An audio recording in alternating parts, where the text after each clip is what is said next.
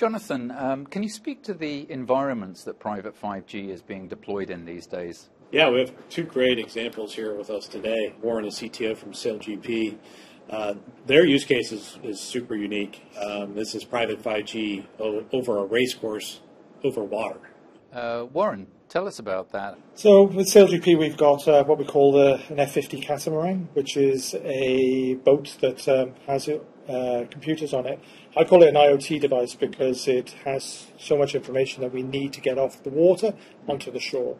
So having 5G and private 5G, uh, ability to have that to get the data off as quick as possible is, is a game changer for us. How much data are we talking about, and, and what do you do with it? Where does it go? So we generate around 60 billion data requests every day. Uh, this is from the F50 uh, yachts, the catamarans. Then also our support our AI marks, which are buoys around the racecourse, and other support uh, uh, vessels on there.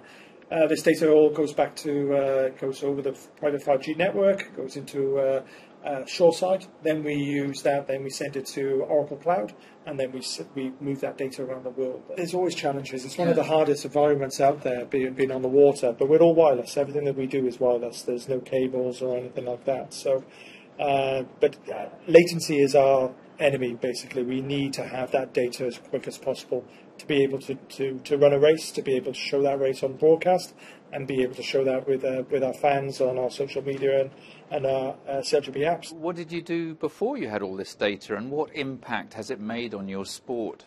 So sailing has always had certain data. We've always it's it's a very subjective sport. You're either out of the boundary or in the boundary. Uh, you're either first to the mark or last to the mark. So it's it's uh, you we had data available to us, but this has completely revolutionised our sport. Steve, uh, in what ways is JLR using the private 5G network to optimize your manufacturing floor? So we're using it as the uh, as the mechanism to access our OT data, our data that's locked down on the shop floor in terms of machines, PLCs, robots, any of that data. We're using it as the um, as the accelerator to unlock that data, and then use that data for things such as condition-based monitoring, predictive maintenance, ultimately maybe AI and prescriptive maintenance. Um, it's our sort of fast track to that. Are we talking about robots, or are we talking about people who are being enabled to do their job in a better way, or is it a bit of both? It's twofold.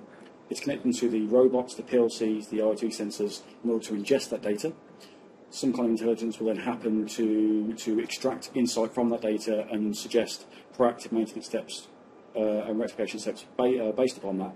But that data is only so useful um, as long as we get it to a maintenance operator. So we then use the private 5G to connect those connected worker devices and get that information to, uh, to them. Why not just use Wi Fi? And we could. Some of the challenges we've had, though, are things like the signal penetration. It's a very complex environment. Um, a Wi-Fi doesn't operate on a clean spectrum. We have a number of interference factors, um, as well as the quantity of devices now, the, the, the, the amount of connected devices that manufacturing wants on the shop floor, be that sensors, edge devices, connected worker devices. It becomes a challenge for Wi-Fi, um, whereas 5G doesn't have those same limitations and it's also the speed to deploy. We can deploy a 5G network much faster. You can deploy 5G faster than Wi Fi. Yes, based based on the fact that you need a lot less um, radios, access points as such. Therefore, you need a lot less containment. You need a lot less resource to go and do it. We actually enabled our cores in our solid Solihull plant in a weekend. Are there lessons uh, or best practice that can be applied from that into other industries, Jonathan? I, I kind of think about mining because mining is very much so a pop-up 5G private 5G network environment, right? So they they, they pop it up, they, they run their mining operations, and then they then they, they break it down and, and set it, uh, and set up somewhere else. So um, you know, part of the the challenge as we as uh, SailGP has been going from country to country is getting uh, allocation frequencies for, for those those particular countries, and so having relationships, um, you know, with the telcos and the governing bodies um, has, has been a, a challenge. And so I think about that as as these mining industries, so mostly outside of the U.S., CBRS is a lot more prevalent here. Um, you know, being able to get that frequency and, and then you know shut it down and then pick it back up in another other area. There might be a different frequency, might be a different telco, might need different radios.